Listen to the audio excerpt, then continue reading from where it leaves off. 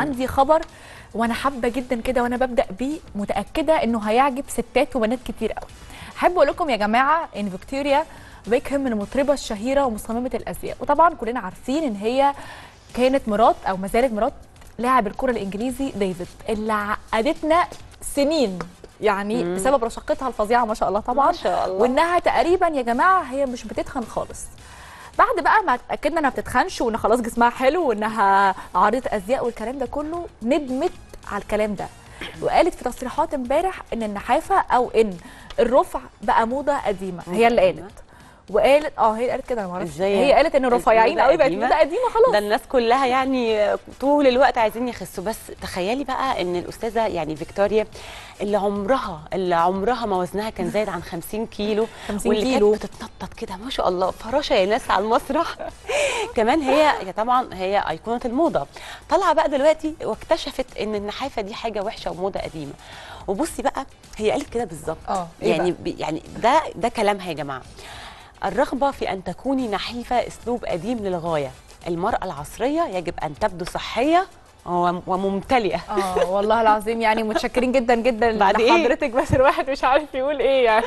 يعني الستات هتصدقك إزاي وانت بتقولي الكلام ده برضه وانت لسه رفيعة. تخيلي انت الأول. يعني تخيلي انت الأول بعد كده انصحينا بقى. يعني ده انت أكتر واحدة ما شاء الله في العالم وأنا مش ببالغ انت بجد أكتر واحدة في العالم محافظة على وزنها. يعني آه انت عارفة إن جوزها كان لسه بيتكلم وقايل في تصريحات صحفية في فبراير اللي فات قال إن مراته بقى لها 25 سنة بتاكل نفس الوجبة كل يوم. سمك مشوي مع؟ خضار سوتيه. كل يوم. اللي هو معمول على؟ البخار يعني حتى. مثلا مش عاملاه مقلي أو حاجة آه لا طبعا يعني الموضوع تعذيب فين جدا الأكل بس الحلو ده راح فين خلينا برضه نقول حاجة مهمة جدا يا فرح إن الموضوع ده يخلينا النهارده نشوف إن ما, فيش حاجة مثالية يا جماعة اللي طبعاً. النهارده شايف نفسه هو ايدل وأنا جسمي مثالي لا أنت مش مثالي الجمال نسبي زي ما قلنا 100 مرة والموضوع ده ما فيهوش وحش وحلو وخلينا متفقين برضو إن في ناس للأسف عندها هوس الرفع وهوس الدايت بتوصل لمرحلة إن هي ممكن آه، يعني ال- يعني شكل حياتها بيبقى كله زي ما مثلا فيكتوريا دي أنا مش مش بضرب مثل بيها بس إن حد يعني يعذب نفسه أما يفضل ياكل نفس الوجبة لمدة 25 سنة فهو النهارده إيه اللي بيعمله في نفسه ده. طبعا طبعا الواحد لازم يكون مخلي بالي من أكله. طبعاً. لازم يكون مركز على نقطة بس مهمة قوي وهو إن أكلك النهارده يكون صحي.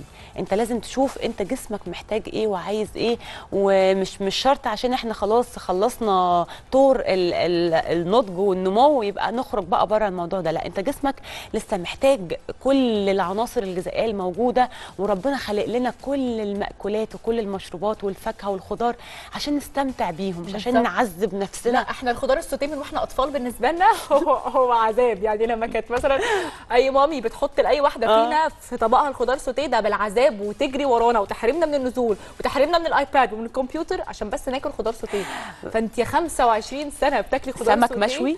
وسمك مشوي على البخار يعني لا طبعا أنا يعني بصراحة مش مع مرض الهوس ابدا آه، لا، لأن لا. في ناس بعد كده على فكرة بتحصل إن المرض ده بتحول مرض طبعا وبيبقى عندهم نحافة شديده جدا جدا وبيبتدوا بقى يتعالجوا عشان يرجعوا. بالظبط. بالظبط يعني كل حاجة لما بتزيد عن حدها بتقلب ضدها فالحلو إن إحنا نبقى معتدلين.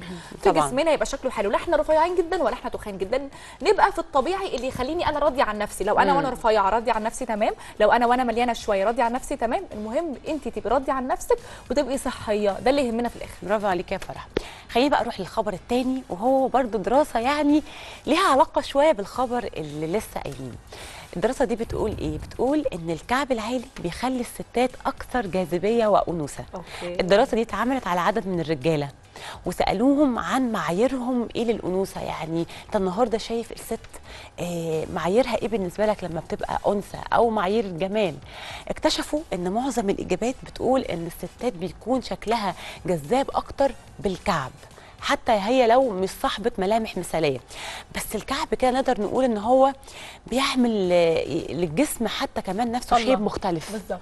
مم. طب يا جماعة أنا عايزة أقول لك على حاجة مفاجأة. أنا في فرحي ما لبستش كعب عالي خالص. آه. عايزة أستمتع. ما هو أنا عايزة أستمتع مع الناس عايزة أستمتع بتفصيلة اليوم. آه يعني اخترت إن أنا ألبس حاجة مريحة من وجهة نظري. أنا عايزة أرقص عايزة أتحرك عايزة أبقى خفيفة. آه، آه. يعني ما أكونش تعبانة ونبقى لابسة كعب وبقى خلاص قاعدة مقريفة وبفكر في تعب رجلي والحاجات دي كلها. لأ يعني مش علشان يبقى شكلي أحلى أضايق نفسي. المهم إن أنا أبقى حابة نفسي. لبستي؟ لا والله العظيم ما لبستش. خالص. حتى في التصوير؟ خالص. لبست في كاتب الكتاب بس في الفرح ما لبستش. عشان يعني إنه كاتب. الكتاب ساعة أو ساعتين لكن الفرح أنا عايزة أستمتع إن أنا واقفة مع صحابي وبرقص وبتنطط. أنا أنا, بشوف راضيه عن. نفسي وواثقه من نفسي. بس كنت ساعتها في ده. الفترة الأخيرة أنا شايفة إن في بنات كتير قوي بتعمل زيك، آه، النهاردة أنا عادي. لازم أكون مبسوطة ومرتاحة مع نفسي، أنا مش مهم عندي بقى شكلي عامل إزاي ولا ظهري مرفوع إزاي ولا كتافي، أنا المهم أنا أكون مبسوطة، وده بصراحة اللي كل البنات والستات المفروض يكونوا حاسينه مع نفسهم. أنا مع الست اللي تلبس اللي يريحها، بس طبعا طبعا يعني آه لازم برضو في الآخر تكوني أنت عاملة التوازن في كل حاجة في حياتك. طيب خليني أسألك يا فرح، ها اتفضل. أطول كعب لبستيه في حياتك. 12 سم 12 سم آه. مع إن انت ما شاء الله طويلة. آه بس ده كان ده كان أكتر حاجة لبستها. طب عمرك لما لبستي كعب وحد مثلا وجه لك كلمة ضايقتك آه، بقيتي بعد كده لما تروحي تشتري أي هيلز يعني تقولي لأ أنا هشتري كعب صغير؟ لأ عمري بصراحة. لأنه أنا يعني ما ما باخدش الانتقادات انها آه، تقلل ثقتي بنفسي بس بقعد أقول إن ده راي مختلف. ممكن مثلا البني آدم ده ما بيحبش الطول زيادة عن اللزوم. آه. فدي وجهة نظره هو قالها لي. أنا مش هضايقه مش هصده هسمعها بس مش هعمل بيها. برافو عليكي والله يعني, يعني- لا بجد أنا على فكرة عاملة أنا هجاوب, هجاوب لنفسي على السؤال. آه يلا خلاص. أنت أنت عمر حد قال لك كده قبل كده؟ أنت كنت عايزاني أسألك يعني؟ تحرجيني قدام الناس؟ ماشي. سأليني. وأنت يا هايدي أكتر كعب لبستيه كان قد إيه؟ بصي بقى أنا الموضوع لا بجد والله كنت الموضوع تتسأل على فكرة. يعني هي يعني بتحرجني قدامكم.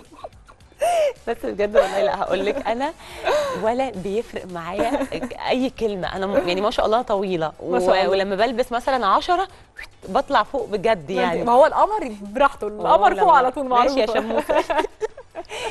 فبجد أنا ولا بيفرق معايا كلام الناس ولا بيفرق معايا إن انت إيه ده؟ انت طويله قوي. لا يا حبيبتي ما بلاش تلبسي كعب. أهم حاجة أنا أنا مش مبسوطة مش أنا مبسوطة مع نفسي وراضية عن نفسي وعن هو شكلي. ده المهم. هي هي. دي رسالتنا الأولى والأخيرة. آه. راضية عن نفسك في أي حال إذا انت صح. انت صح. مالكيش دعوة فرح شايفاك إزاي؟ هايدي شايفاك إزاي؟ انت مبسوطة. إن شاء الله تبقي 200 سم انت حرة. 200 سم يعني حلوة انت. حرة. والله العظيم أصل انت 200 سم انت شايفة نفسك. انت كده مرتاحة. إذا انت شكلك حلو انزلي. صح.